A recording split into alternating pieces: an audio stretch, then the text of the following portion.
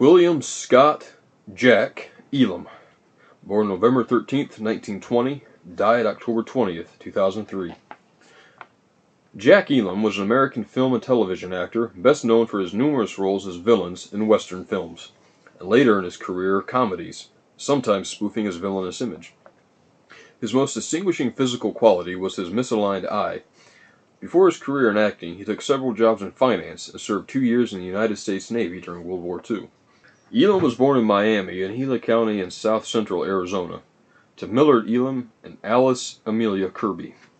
His mother died in September of 1924 when son Jack was only three.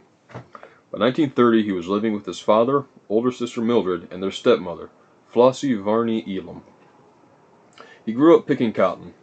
Elam lost the sight of his left eye when he was stabbed with a pencil during a boyhood altercation with a fellow Boy Scout. He was a student at both Miami High School in Gila County and Phoenix Union High School in Maricopa County graduating from there in the late 1930s, also attending Santa Monica Junior College in California.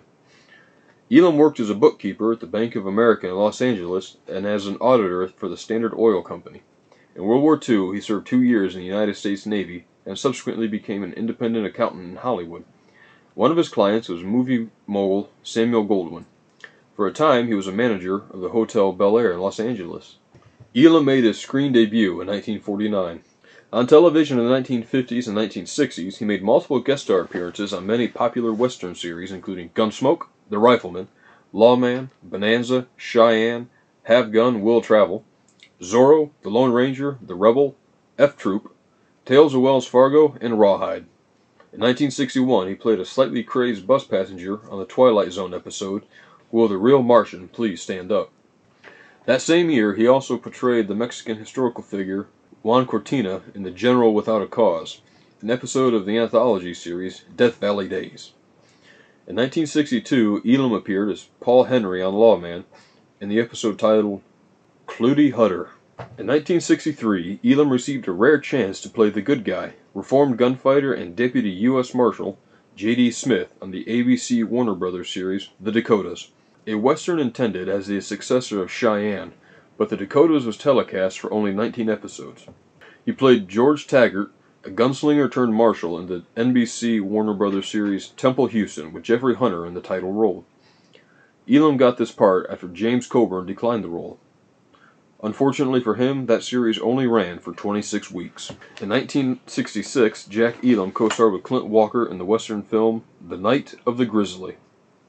In 1968, Elam had a cameo in the Sergio Leone's celebrated spaghetti western Once Upon a Time in the West. In that film, he played one of a trio of gunslingers who were sent to kill Charles Bronson's character. Elam spent a good part of the scene trying to trap an annoying fly in his gun barrel. In 1967, Elam appeared on The Way West with Robert Mitchum, Richard Widmark, and Kirk Douglas as a light-hearted preacher Weatherby taking part in a wagon train on the Oregon Trail.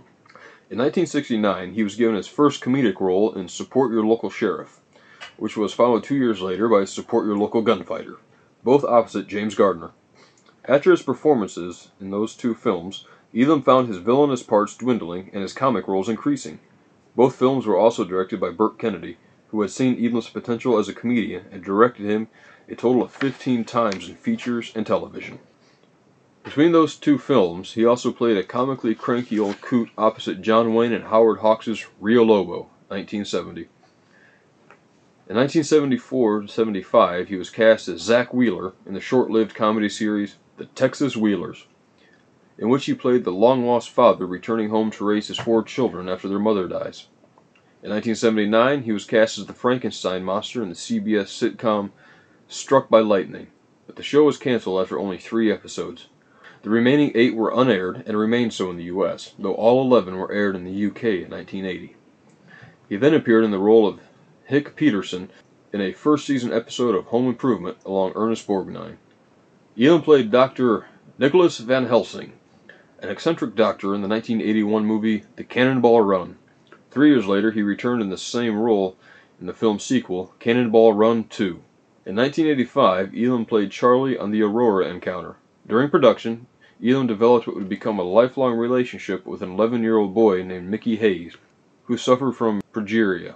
The documentary, I Am Not a Freak, shows the closeness of Elam and Hayes. Elam said, "You know, I've met a lot of people, but I've never met anybody that I got that got next to me like Mickey."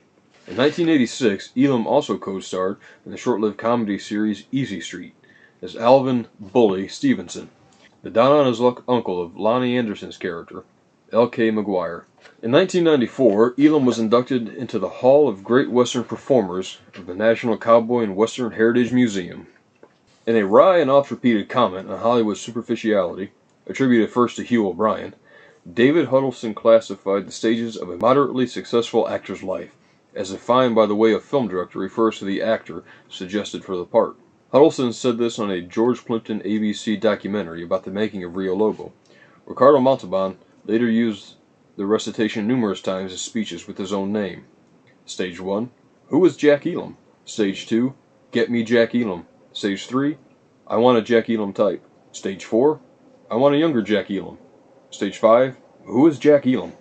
Jack Elam was married twice. First to Jean Hodgert from 1937 to her death in 1961, then to Margaret Jennison from 1961 until his own death. Elam died of congestive heart failure in Ashland, Oregon in 2003, just a month before his 83rd birthday.